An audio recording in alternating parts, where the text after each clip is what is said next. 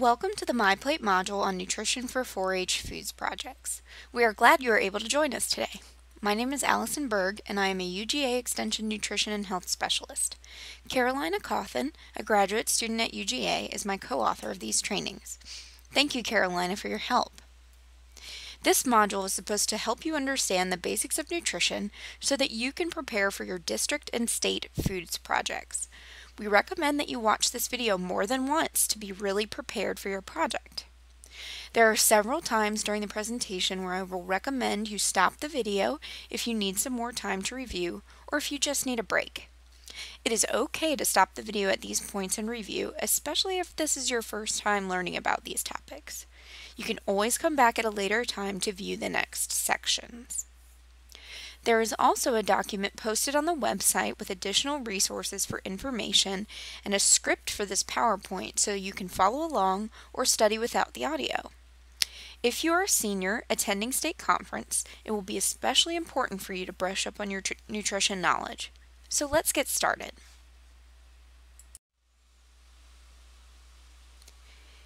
Here's what you can expect to learn about as we work through the MyPlate nutrition module. What is my plate? Nutrients and energy from food. The food groups. What nutrients are found in these food groups? How much of each of these foods you need? Building a healthy plate. That includes any time versus sometimes foods and maximizing nutrition. And then there are a few key messages to close out our presentation.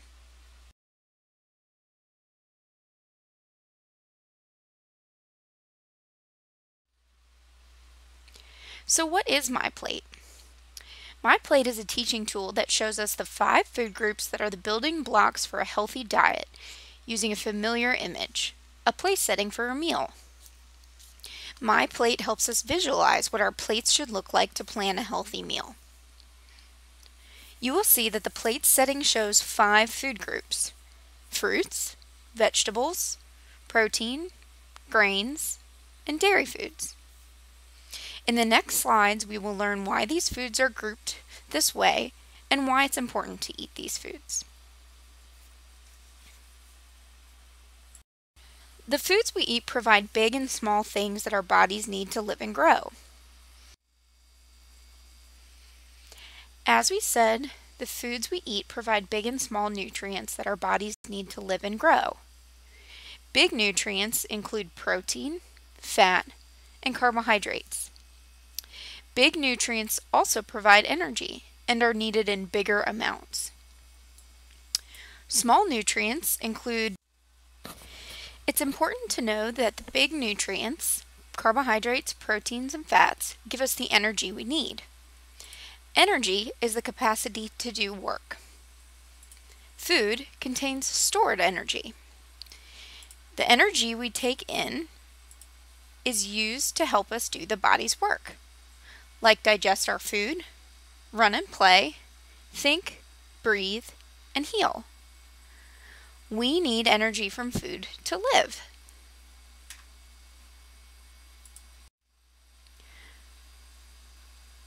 The big nutrients, carbohydrates, protein, and fat provide energy. Just like we measure your height in inches or feet, energy is measured in calories. So don't be scared of the word calorie. It's just a unit of measurement, like an inch or a foot.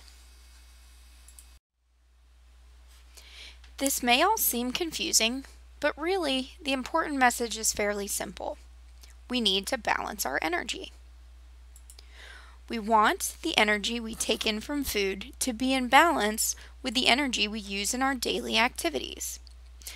Balance is the key and using my plate can help us achieve balance. How many calories we need, or energy in, depends on how much energy we put out, also measured in calories. When we're growing as teens, we need more energy. When we're really active, we need more energy. Check out www.choosemyplate.gov to determine how many calories you need for your age, gender, and activity.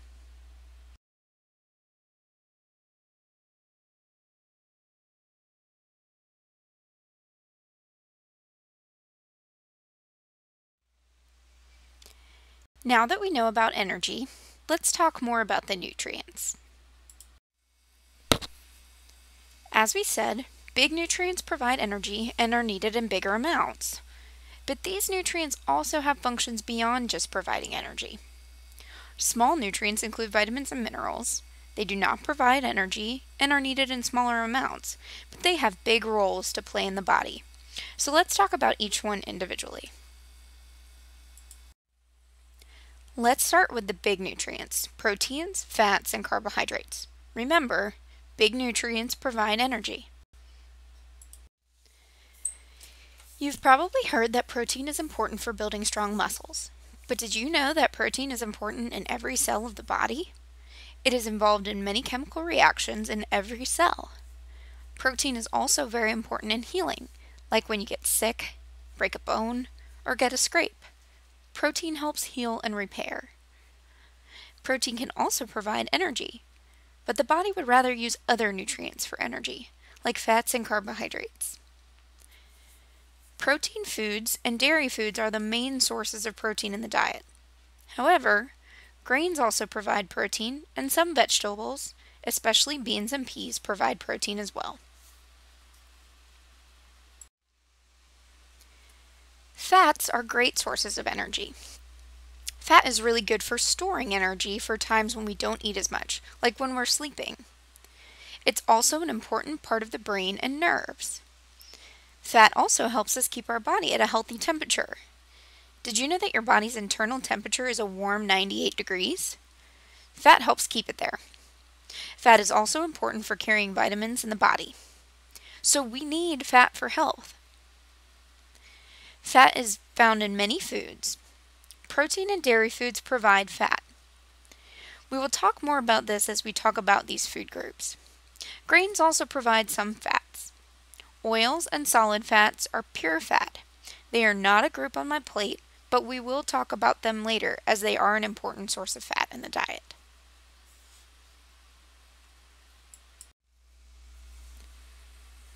Carbohydrates also provide energy.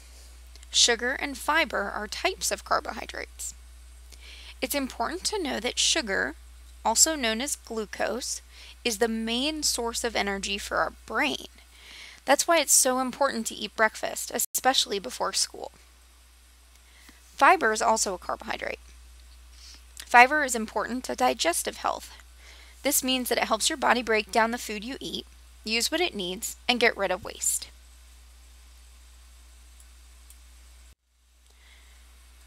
Vitamins and minerals are the smaller nutrients that our bodies need.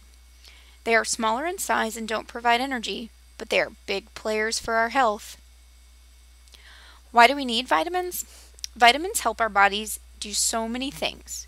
So for your foods projects, we're just going to focus on a few vitamins that you'll see on the nutrition label on foods you buy.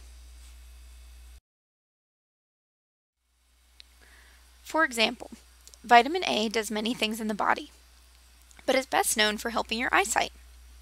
Vitamin C is best known for helping fight off germs and sickness. Vitamin D is important for strong bones and teeth. Vegetables and fruits are some of the best sources of these vitamins. Dairy foods are important sources of vitamins A and D. Grains also provide vitamins, especially B vitamins, which you may have heard about in the news. But B vitamins are not on food labels, so we won't talk about them too much for this project. Like the vitamins, there are many minerals. Too many to discuss in this module. So for your foods projects, we will focus primarily on those you will find on the food label and just a few of their functions. These minerals are calcium, iron, sodium, also known as salt, and potassium. Calcium works with vitamin D to build strong bones and teeth.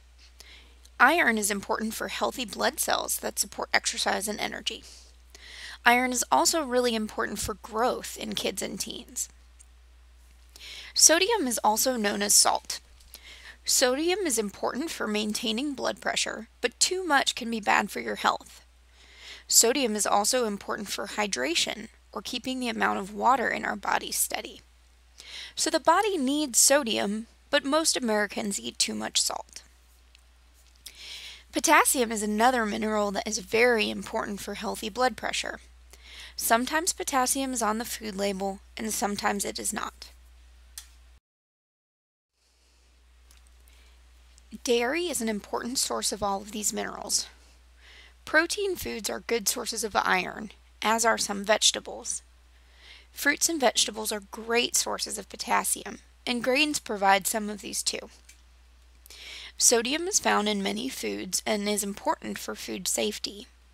But remember, too much sodium can be bad for our health. So remember, each of these big and small nutrients is important, but balance is the key to both energy and nutrients. Too little of a nutrient or energy is not healthy. Too much of a nutrient or energy is not healthy. But wow, we just learned a lot. How do you know how much of each of these big and nutrients and small nutrients we need? And how do we know how to get them all? Well, don't worry. That's why we have My Plate. My Plate makes this all easier. My Plate is a tool to help you find the right balance of nutrients and energy by focusing on foods. And we're familiar with foods, right?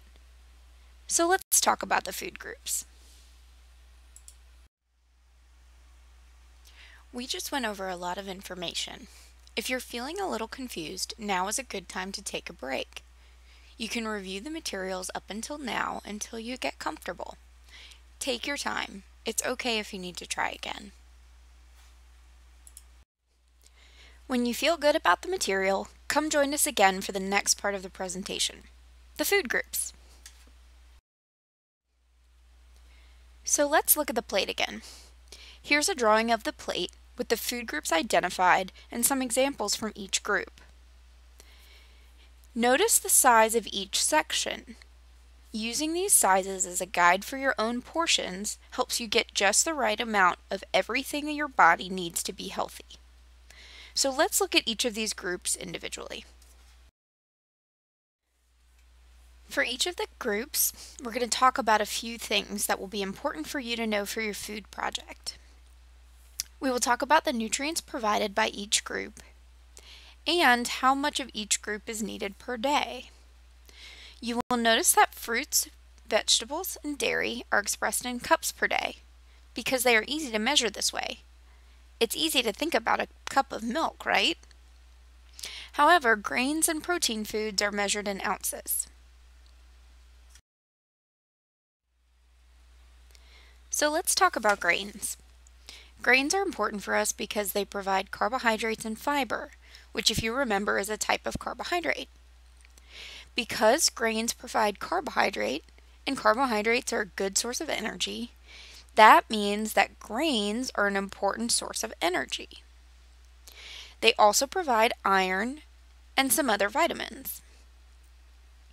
They are shown as a little more than half of the right side of your plate to demonstrate that a good portion of our diet should come from grain foods, so we get enough of these nutrients and energy that grain provides.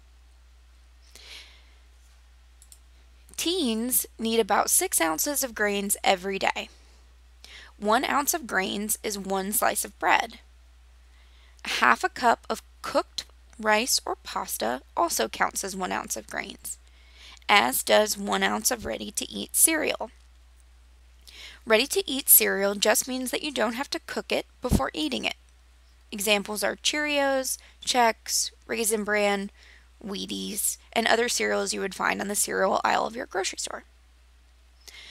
The MyPlate website has a detailed list of what makes up one ounce of grains. The important things is that you get a variety of grains to meet your daily needs of about 6 ounces per day.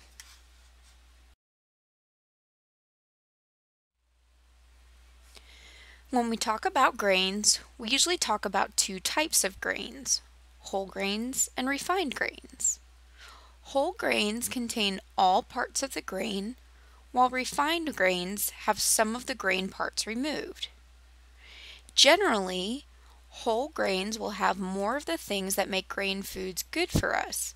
So My Plate recommends that you make at least half of your grains whole grains. Here on this slide you will see examples of some whole grain foods like brown rice, oatmeal. Did you know that popcorn was a whole grain? Do you see the whole wheat flour? This means that breads and bread products like bagels, pizza dough, and English muffins that are made from whole wheat flour are whole grains. Many cereals are also whole grains. Some less common whole grains include amaranth, millet, quinoa, and triticale.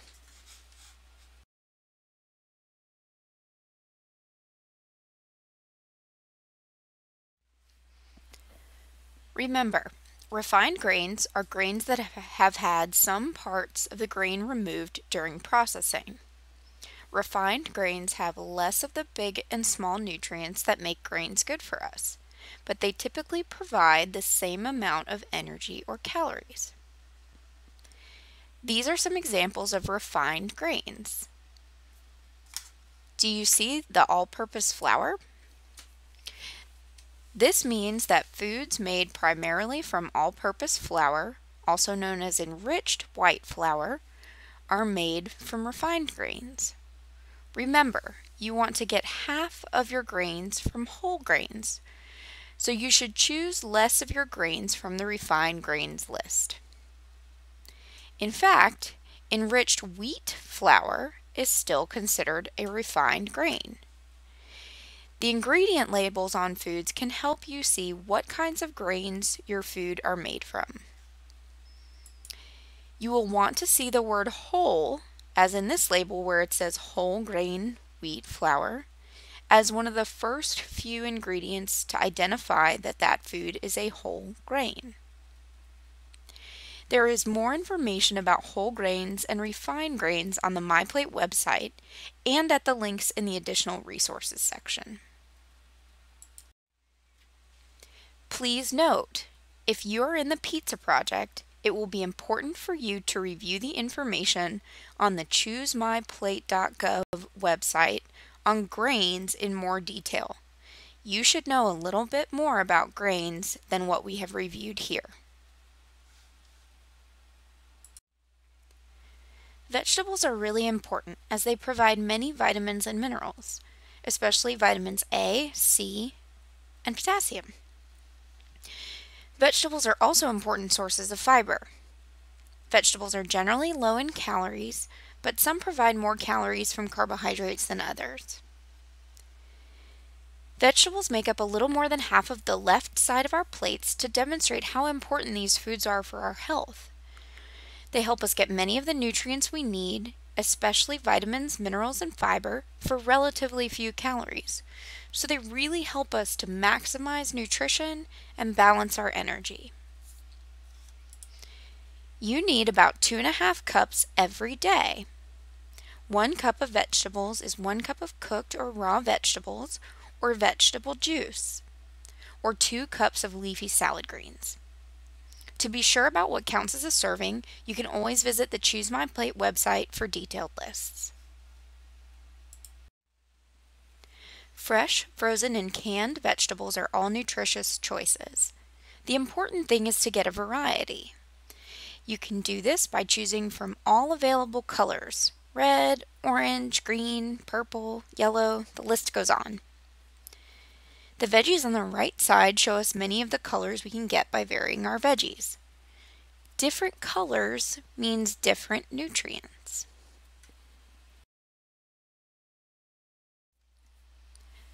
Fruits, found in the top left corner of my plate, are great sources of vitamins, minerals, carbohydrates, and fiber. The carbohydrates in fruit are natural sugars that are good sources of energy. Since fruits generally provide more energy than vegetables, we need a little less of them to keep our energy in balance yet maximize our nutrition. So they're a little smaller part of the left half of our plate. We need about two cups of fruit every day. One cup of fruit is about one cup of raw or cooked fruit. or 1 cup of 100% fruit juice. So that just means all fruit juice, no sugar added. Half a cup of dried fruit counts as 1 cup of fruit. Like with veggies, fresh, frozen, canned, and even dried fruits are all nutritious choices. Dried fruits are a great way to add fruit to your diet without worrying about spoilage. Removing most of the water concentrates the nutrients and energy in the dried fruits. Since they are concentrated, the serving size for dried fruits is smaller than the serving size for fresh, canned, or frozen fruits. Whole fruits especially those eaten with the peel on, will have more fiber than fruit juices. Since fiber helps us feel full and keeps our digestive system moving, choose whole fruits over fruit juices more often. Like with veggies, eat a variety of fruits of many colors to get all your vitamins and minerals. Next, we'll talk about dairy foods. Dairy foods are incredibly important for health because they provide protein, calcium, and vitamin D. Calcium and vitamin D are not found in large amounts in the other food groups, so it's really important to get these nutrients from dairy foods for strong bones and teeth. On the MyPlate graphic, dairy is depicted by a beverage glass or a milk glass. While milk is a great way to get your dairy foods, Yogurt and cheese are also good sources of dairy. Most children and teens need three cups of dairy each day. One cup of regular milk or yogurt counts as one cup. Some people can't drink milk or don't like milk, and so they might choose soy milk or almond milk instead. It's important to know that these milk substitutes must be labeled as fortified to be considered equal to milk in the nutrients that they provide. So one cup of fortified soy milk counts as one cup of dairy foods. One cup of unfortified soy milk does not count as one cup of dairy foods.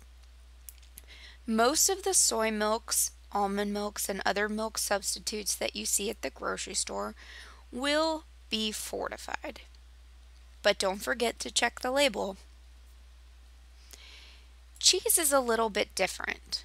One and a half ounces of natural cheese counts as one cup of dairy, but two ounces of processed cheese counts as one cup of dairy. That's because processed cheese has water and other ingredients in it that make it have less nutrients per ounce than regular cheese. We will talk more about this on a later slide. Dairy foods naturally contain some fat, and some of that fat is saturated, which is not good for our health if we get too much of it. When choosing dairy foods, choose low fat or fat free dairy most of the time. Lactose is a sugar that occurs naturally in all milk, and some people need to avoid lactose. If you cannot or do not drink milk or choose not to drink milk, Choose other foods rich in calcium like cheese and yogurt. If you need to avoid lactose for medical reasons, lactose free products are another option. All fluid milks can be part of a healthy diet, but again, whole milk should be chosen less often, if at all. Lower fat milks provide the same protein, vitamins, and minerals as whole milk, but less fat. Flavored milks give you the nutrients you need, but they do contain added sugar, so choose them less often. As stated earlier, lactose free and lactose reduced and fortified soy milk can be other options. Other milk substitutes like almond milk and coconut milk vary greatly in their protein, calcium, and vitamin D. So if you do choose these products, make sure to read the labels. In addition to fluid milk, milk-based desserts, yogurt and cheese are common sources of dairy foods. Milk-based desserts, like ice cream, frozen yogurt, and pudding, will have added sugars, which means more energy or calories. so choose these less often. As with milk, choose low-fat or fat-free yogurt more often. On the previous slides, we mentioned natural versus processed cheese. Natural cheeses are typically made with milk, salt, and enzymes. Different types of milk, different enzymes, and different curing time give natural cheeses many different textures and flavors. So there are hard cheeses to semi-hard to semi-soft and soft cheeses and all sorts in between. Processed cheeses are made with some natural cheese plus added milk, oil, flavors, and sometimes colors. Processed American cheese is very common and is often packaged in single servings. If a product is processed cheese, it must say so on the label. Remember, because of these added ingredients, the serving sizes are different for natural versus processed cheese. See the previous slides and choose myplate.gov for more information. Please note, if you are in the Dairy Foods project, it will be important for you to review the module on dairy foods and the information on www.choosemyplate.gov website on dairy foods.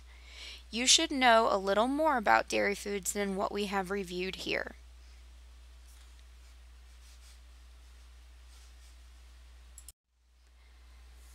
So let's talk about protein foods. Remember, every cell in your body needs protein to do its job. Protein foods provide, well, of course, protein, but they also provide minerals. They are a great source of iron. Protein foods also naturally contain some fat, and some of this can be saturated. So we often say, go lean with protein. Teens need about 5.5 ounces of protein foods every day. 1 ounce of lean meat, fish, or poultry, 1 egg, 1 tablespoon of peanut butter, or a half ounce of nuts all contain all count as 1 ounce of protein. Beans and peas are special because they can be counted as protein foods or veggies. For people who choose to avoid meat in their diets, beans and peas are an important source of protein. There are many healthy choices for protein foods. As we said, go lean with protein. This means less fat. You can do this by choosing to bake, broil, or grill so that you cook your meat without adding fat. You can also remove the skin on your chicken or turkey or cut away any visible fat on beef or pork. Another way to reduce the fat in your meats is to choose lean cuts of meat. Cuts typically refers to the part of the animal that the meat comes from, and some cuts are leaner than others. For example, choosing a chicken breast over a chicken wing means less fat. Pork tenderloin has less fat than bacon. When choosing ground meats, you can use the labels to find ones that say ground sirloin, ground round, or less than 10% fat. Some cuts have more fat than others, and you should always choose the ones that are lower in fat. The protein group also includes fish. Most fish is fairly lean. There are a few fatty fish, like salmon, tuna, and mackerel, that are higher in fat, but it's mostly unsaturated fat, which is healthier than saturated fat. We will talk more about this later. Soy products can be a good source of protein. You might be familiar with tofu, but tempeh and texturized vegetable protein are others that are good sources of protein. Veggie burgers are typically made from some combination of soy, and beans for protein, and some grains. Dry beans and peas are a great way to increase vegetarian protein in your diet. They come in many varieties that provide different amounts of protein, carbohydrates, and energy, so try them all. Nuts and seeds also count as protein foods. Peanuts, almonds, peanut butter are some you're probably familiar with. Sunflower seeds and pumpkin seeds are some more common seeds eaten in the U.S.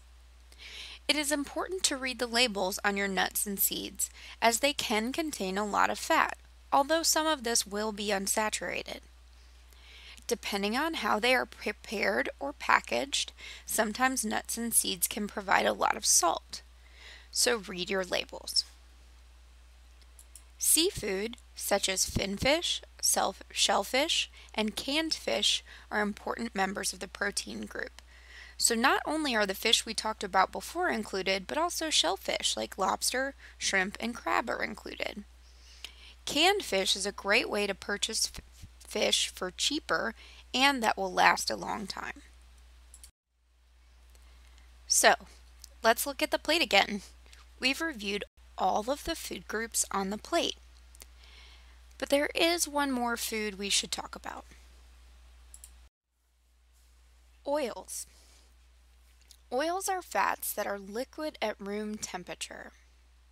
They come mostly from vegetables and fish.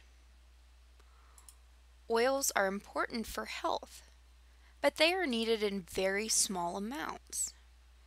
Because the amount needed is so small, and because they are found within some foods already included in the MyPlate food groups, like fish, nuts, and seeds, Oils are not a MyPlate food group.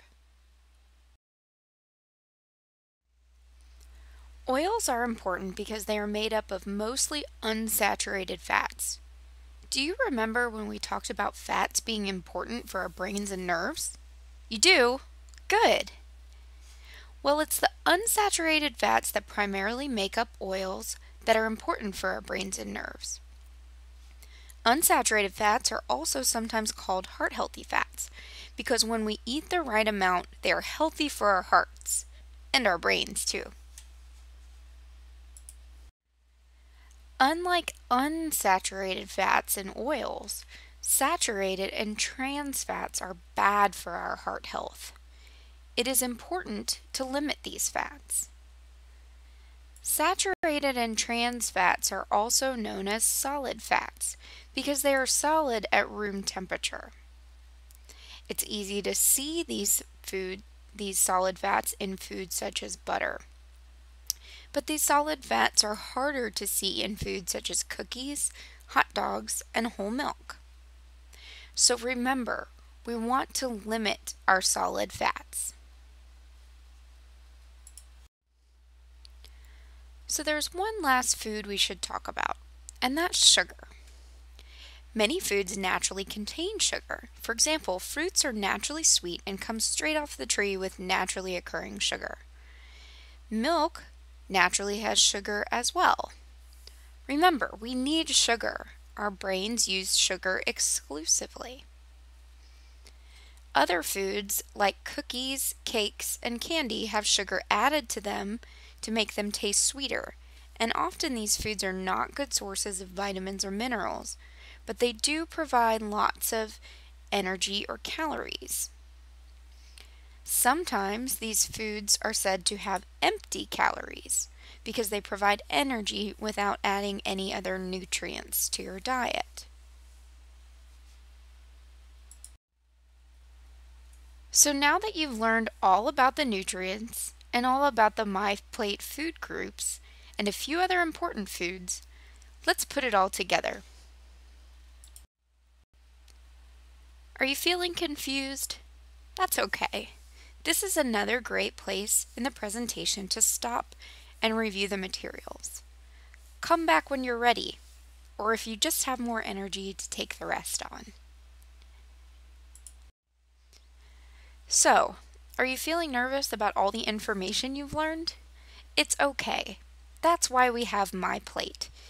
It will help us build our plates to get the balance of nutrients we need without too little or too much of anything. Building a healthy plate means choosing foods that help you get all of the big things and small things that your body needs nutrients and energy. So fill your plate according to my plate. It's easy. Let's use an example. This is Sally. Sally's mom tells her they're having chicken for dinner tonight, but Sally can help her plan the rest of the meal. Sally knows that chicken is a protein food, so Sally will take a piece of chicken to fill her protein foods on her plate. By choosing a piece that fits in the corner of her plate, Sally is making sure she gets the right amount of chicken or protein foods. Sally then thinks to herself, what next? How about grains? Sally remembers that rice is a grain, and brown rice is a whole grain, so she chooses brown rice for her grains tonight. By taking a scoop of brown rice that fits in the grains corner of her plate, she knows she's getting the nutrients she needs, but not too much. Next, Sally thinks about vegetables. Mmm, Sally really likes potatoes, so she thinks about putting potatoes on her plate. Hmm. Sally realizes that her plate is not very colorful. Lots of browns and whites. So Sally says, no potatoes. Ooh, what about broccoli? Sally loves broccoli, so she chooses broccoli instead. Next, Sally thinks about fruits. She thinks to herself, you know what? I think I'll be pretty full with that meal, since I had a big lunch. I think I'll save my fruit for dessert. Sally loves strawberries, so she chooses strawberries for her dessert. It's okay that Sally isn't going to have all of her foods on one plate at one time. Again, Sally makes sure to take about a cup of strawberries, which is what would fit in the corner of her plate. Lastly, Sally decides to have milk with her dinner. Sally always has milk with her dinner, so this is an easy one for her.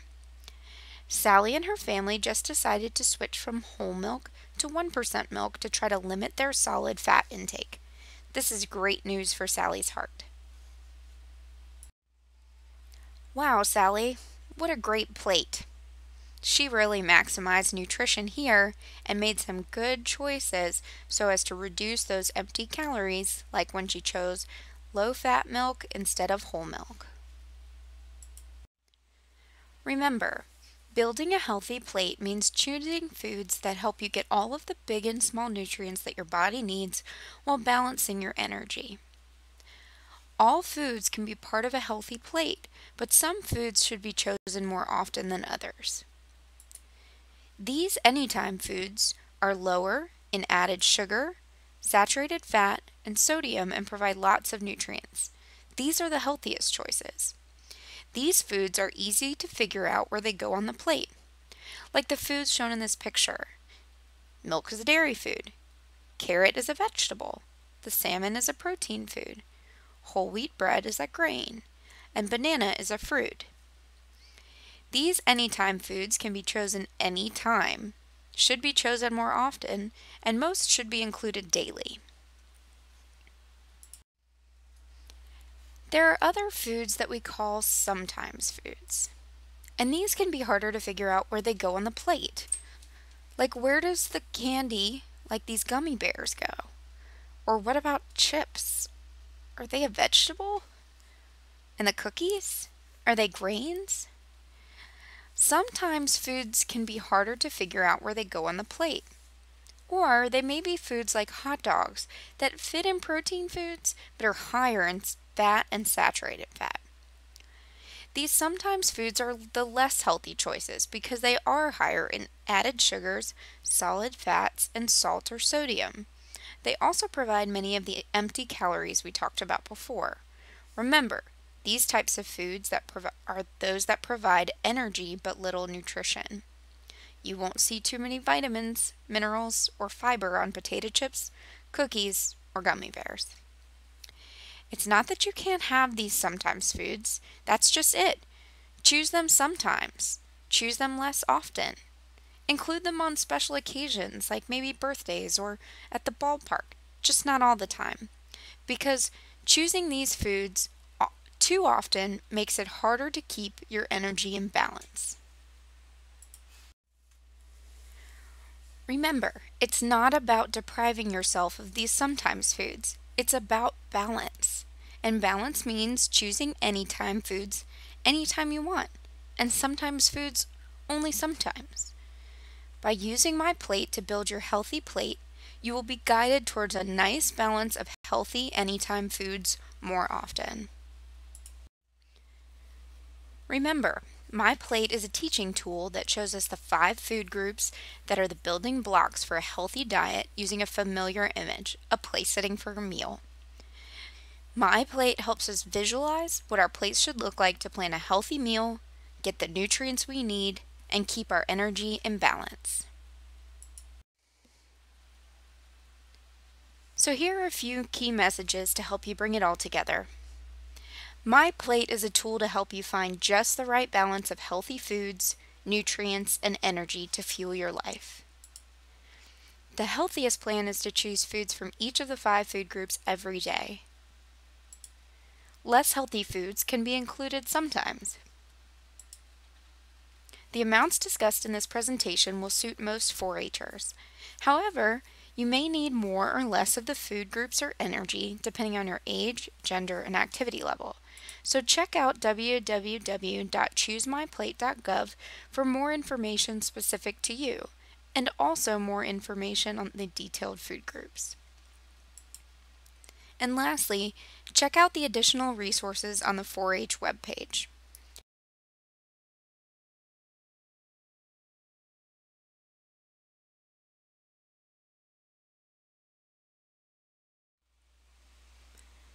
Thank you for your attention and good luck in studying nutrition for 4-H Foods projects.